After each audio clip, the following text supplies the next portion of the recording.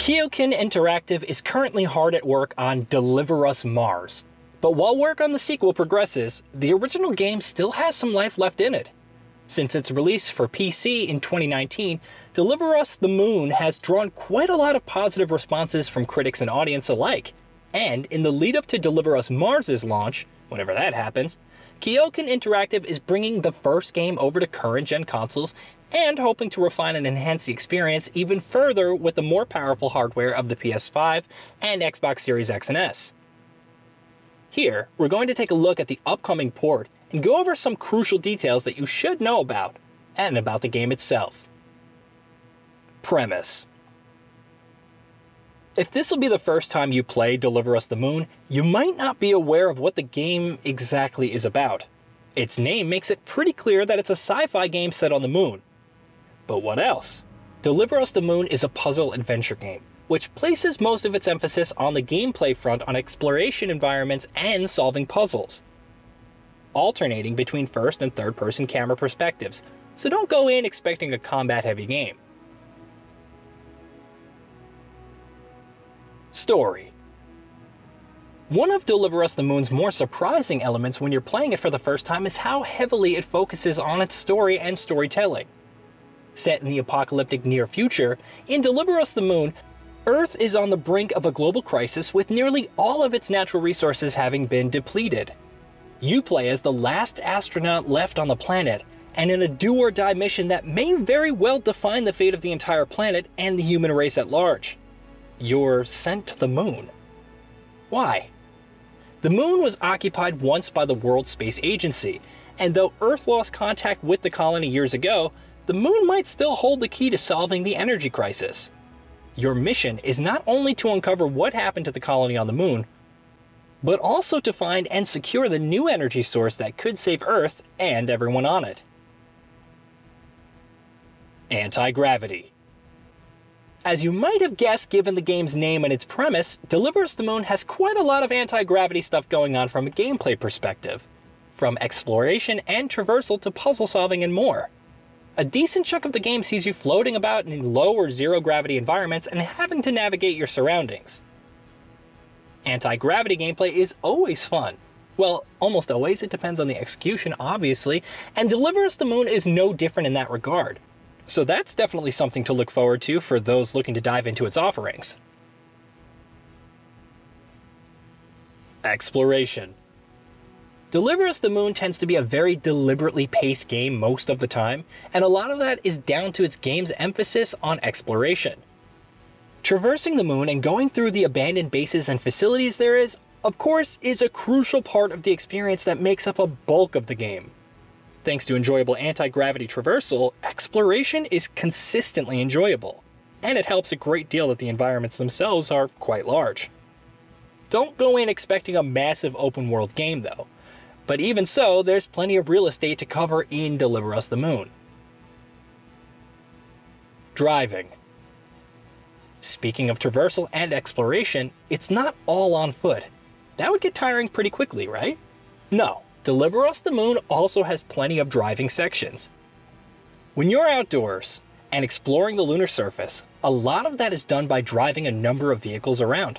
Driving the game feels solid, and as you'd expect, combined with low gravity mechanics, the game's driving sections tend to be quite a bit of fun.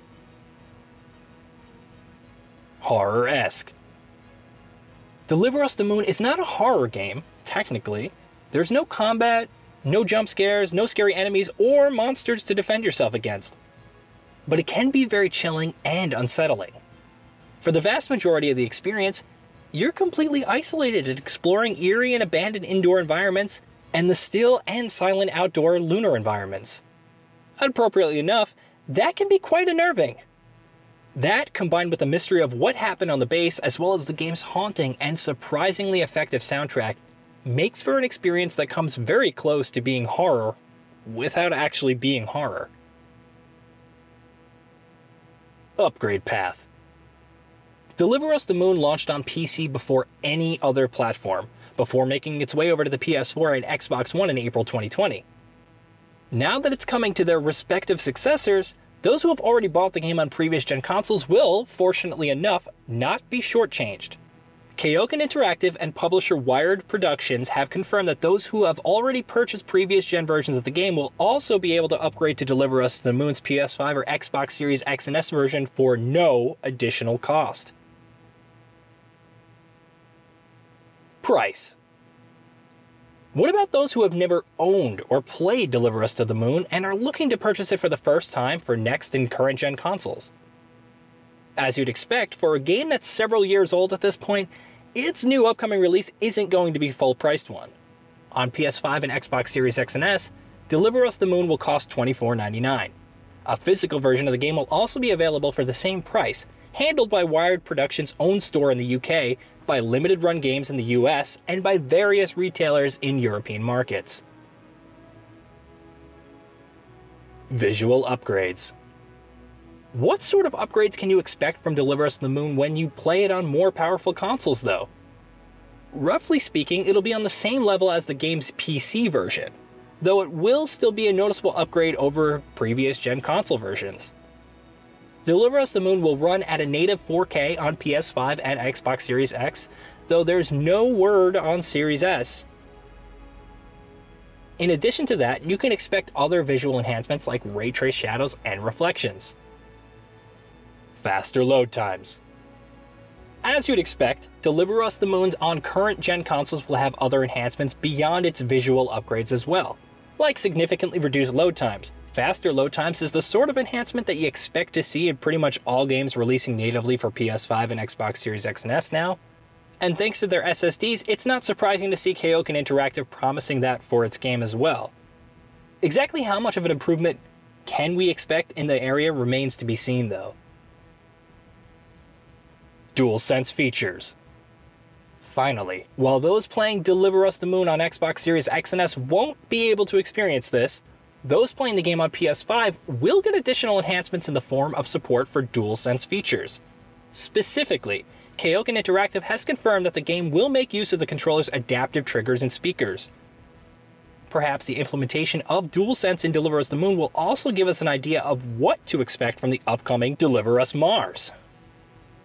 Did you know? We at Gaming Bolt upload new videos every day. Stick around, drop a like, subscribe, and let us know what kind of content you'd like to see in the future with a comment below.